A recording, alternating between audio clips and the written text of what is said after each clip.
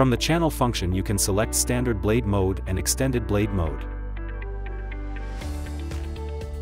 These modes change the range of blades of the fixture.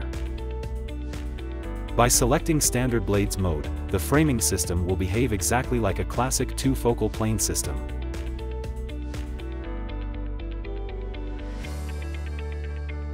As you can see, when the blade is set at 100% it is only able to cover 50% of the projected beam.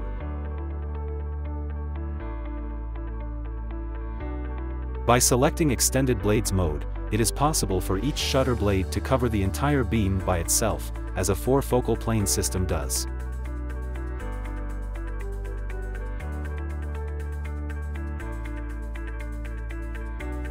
Each of the four blades in the system can do this. When the extended blades mode is enabled, you also have access to extra rotation of the blades.